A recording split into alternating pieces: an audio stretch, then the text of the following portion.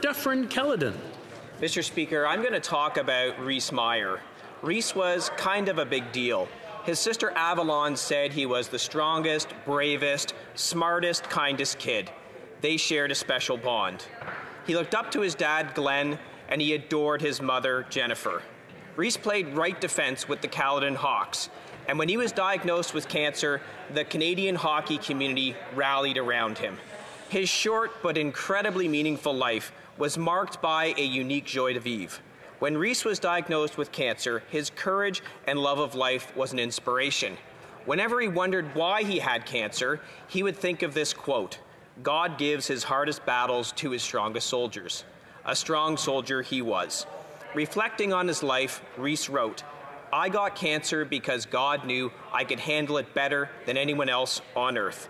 Mr. Speaker, may Reese's legacy continue to inspire us, and may we all strive to be a little more like Reese every day.